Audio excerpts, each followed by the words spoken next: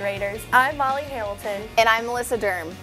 Two weekends ago, the EP Robo Raiders competed at Oglesby. The team won three of the five matches and ended up with a fifth place finish. The most exciting part of the day was when the Robo Raiders were teamed up with the other EP team, the Retro Robotics. Working together, the teams won the match with 365 points. That means that the two East Peoria teams hold the state record for the highest score in a match. This is a huge accomplishment for both teams. Interested in raising funds for the education of girls in Malawi? If so, join Girl Up. The next meeting is Wednesday, January 17th at 8.30 in 336B. Football weightlifting this week will be on Monday, Tuesday, and Thursday from 3 o'clock to 4.15. Students, please return all first semester textbooks as soon as possible. Interested in track and field? If so, come to the meeting at 3 o'clock in the cafeteria on Tuesday, January 16th. If you are in a winter sport, you should still sign up the week either with Mr. Herman or in the attendance office. Girls soccer Ohm Gyms will begin on January 16th. We will meet both Tuesday and Thursday next week from 3 to 4.15. Make sure you bring your running shoes. The Maker Club will resume meeting on Monday, January 22nd in room 236B from 2.50 until 3.50. If you took Classrooms Driver Education during the first nine weeks, first semester this school year, please return your book to the library immediately. Any questions, please see Mr. Gonigan or Miss Romeo. Skills USA update. The Christmas food basket was delivered to a family on December 22nd and the toys were donated to Toys for the Tots. The officers will meet next Wednesday, January 17th at 8.30 in room 350C. Breakfast treats will be provided. Extended day will begin on Monday, January 22nd. Remember those lucky students who were selected for the Cadaver Lab? They had their first opportunity at cadaver dissection over Christmas break. Congratulations again to those students who were selected to participate in this rigorous 18-week program. That's not all, but that's all we have time for today. For the full set of announcements, listen to Christian Laredo at the beginning of Raider Hour or go to the EP website. Now let's take an inside look at some of the interesting science classes you can take and how you can be a part of our Inside the Tribe family.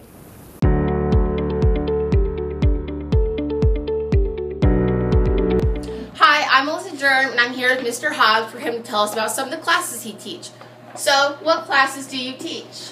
Well, I teach geology uh, first semester and astronomy and weather second semester. I teach environmental stewardship all year and phys chem all year and uh, earth science 3-4. So, what do you want the students to know about these classes?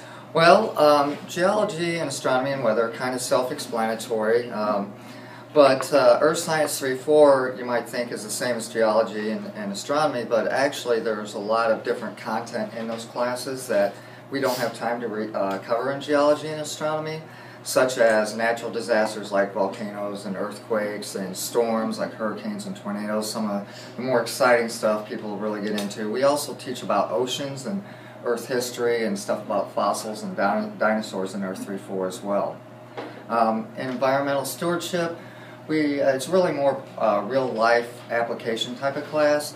We talk about uh, things such as how you can save money on energy, um, how you can lower your environmental footprint, um, how you can eat more healthy, and how you can raise your own food, and a variety of things that really are more practical for everyday life. Um, Phys Chem is just kind of a survey of, of, class, uh, of physical and chemistry topics. Um, so th that's kind of what uh, the subjects that I teach. Great. So is there anything you want the students to know before they register for these classes? Well, I mean, these are the classes that I teach, but here in the science department we offer uh, a lot of different science electives, more so than most high schools in the state even. We also offer uh, forensics, we offer human anatomy and physiology, we offer um, enriched uh, levels of physics and chemistry, and we also offer um, a zoology botany class in addition to the ones that I teach, uh, the, the, classes that I teach. So we really have a lot of different things that students can choose to take. Even beyond their two-year science requirement, there's a lot of really cool things that they can take as an elective. Well, thank you so much for all this great information. Thank you.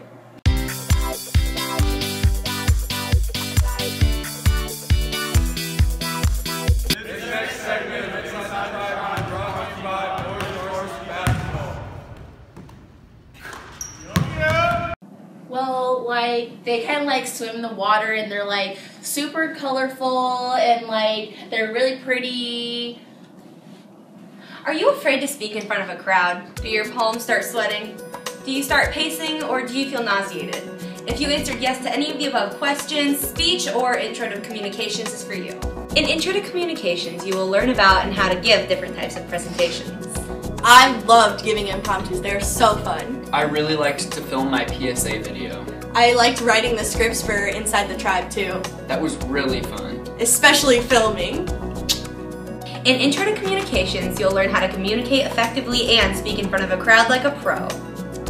I've won so many speech awards, I can't even hold them myself. I wish I had some trophies. In Intro to Communications, you'll learn all about how to produce and deliver Inside the Tribe, East Peoria's popular newscast. So, in conclusion, mermaids are the best sea creatures in the world. See your counselor today to sign up for Intro to Communications. If I can do it, you can do it. What up, Raiders? Welcome to this week's extracurriculars. It is your boy, Chase Calvin. and it is your boy, Connor Mounts. While we have no school Monday, January 15th, boys freshman basketball is away at Washington at 5 o'clock. Girls freshman is away at Washington at 6.30, and girls varsity basketball is away at the MLK tourney, which is to be announced. Tuesday, the 16th, Scholastic Bowl is at home, and boys varsity wrestling is at home against JV and varsity Peoria High for senior night. There are no events Wednesday the 17th and Thursday the 18th.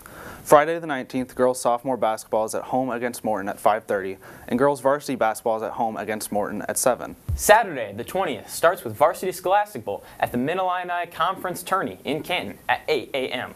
Boys varsity wrestling is away at the Varsity Conference in Canton at 9 o'clock a.m. Varsity chess is away at U of I in Champaign at 9 a.m. Girls freshman basketball is away at Metamora at 9:30 a.m. Girls sophomore basketball is at home against Limestone at noon. Girls varsity basketball is at home against Limestone at 1:30 p.m. There are no events Sunday, January 21st. The boys swim team, who co-ops with Washington High School, also did an awesome job over Christmas break when they swam in the Ram Relays hosted by Richwoods High School. Ty Barclay's relay won first place, which was a first for WCHS. Ty also earned another first place, second, and a third. Dawson Dobelair earned two first place awards, and Luke Willis finished in second. Awesome job, boys swim team. Congratulations to Coach Danae Menzioni for being named the top female coach of 2017 in the Greater Peoria Sports Hall of Fame for 2017. We are proud of Coach Menzioni and all of her accomplishments. This Justin, East Peoria speech team has Mid-Illini Tuesday, January 16th at Washington High School.